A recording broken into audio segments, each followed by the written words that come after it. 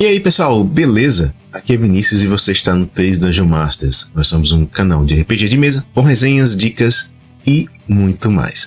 E no vídeo de hoje nós vamos falar sobre dados novamente. Vou mostrar para vocês alguns dados diferentes que comprei recentemente e dar algumas sugestões de uso. Olha esses dadinhos legais aqui.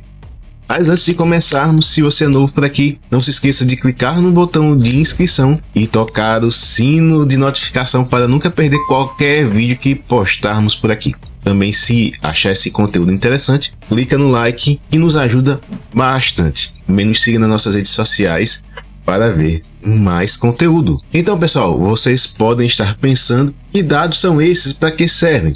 Bem, eles são dados utilizados no sistema Fate e PUD. São conhecidos como dados Fate ou Fate Dices em inglês. O sistema Fate, um dos mais pedidos por vocês para a gente resenhar, chegou a ser lançado no Brasil pela Solar Entretenimento e no ano passado pela Indivisible Press. Mas eles, os livros do sistema, são extremamente difíceis de conseguir aqui no Brasil. Por isso que ainda não fizemos ainda uma resenha para vocês aqui no canal. Mas pelo menos vamos falar, nós conseguimos os dados e vamos falar, mostrar um pouco deles para vocês. Como vocês podem ver, neste tipo de dados de seis faces, temos três resultados possíveis: positivo, o negativo e o neutro.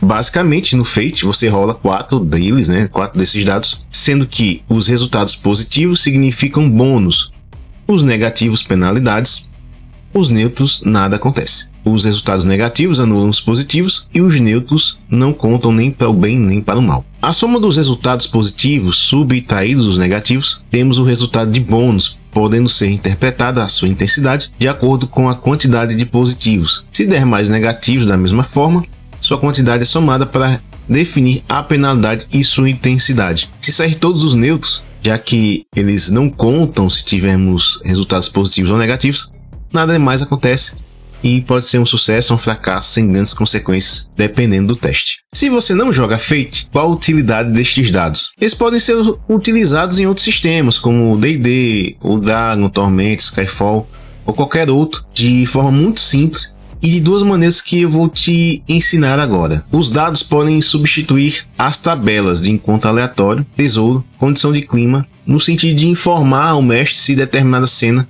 o ambiente haverá algo positivo ou negativo aos jogadores e sua intensidade. Por exemplo, o grupo decide entrar em uma sala na dungeon, mas o mestre não preparou direito aquele ambiente. Ele pode rolar secretamente quatro dados fate. Se forem, por exemplo, três resultados positivos, a sala não teria adversários e armadilhas, mas teria um tesouro. Mas se for mais resultados negativos, ao, ao todo um resultado negativo, digamos que tenha um monstro, não muito forte, mas se todos os dados todos os resultados forem neutros, a sala está vazia. Há uma regra no Dungeon World, e falamos neste vídeo que está aqui no card, e no link também na, tá, que está na descrição, especialmente na de movimentos e dados. A descrição de que há três faixas de resultados nas rolagens de dados. Inclusive, o tio Nitro, em suas lives de Legião, utiliza tal regra adaptada para o Dragon segunda edição. Também vou deixar aqui no link na descrição as lives dele. Na prática, se você faz um teste, resultados 10 ou mais acima da dificuldade é um resultado melhor possível. Um resultado 7 a 9 acima da dificuldade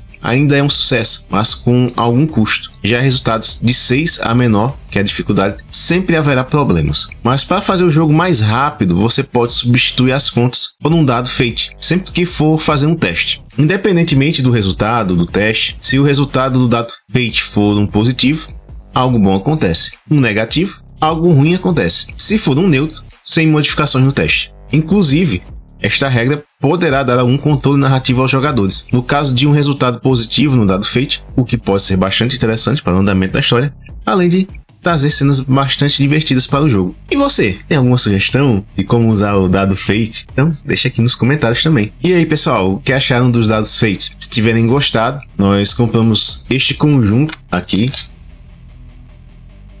que é o mesmo que a gente mostrou no vídeo, no AliExpress. Mas poremos outros links também para você comprar. Lembrando que comprando por nossos links, você nos ajuda bastante. Inclusive, no período do lançamento desse vídeo, vai estar correndo a promoção lá no AliExpress com alguns cupons de desconto. Vamos deixar também os cupons, né, aqui na descrição do vídeo, caso você tenha interesse também em comprar outras coisas por lá. Muito obrigado, pessoal, por se juntar a nós aqui no 3 Dungeon Masters. E se você achou esse vídeo útil, não se esqueça de curtir, compartilhar com seus coleguinhas e se inscrever no canal para mais conteúdo também. Nos siga nossas redes sociais, porque lá tem sempre alguma coisa legal. Valeu, pessoal, e até o próximo vídeo.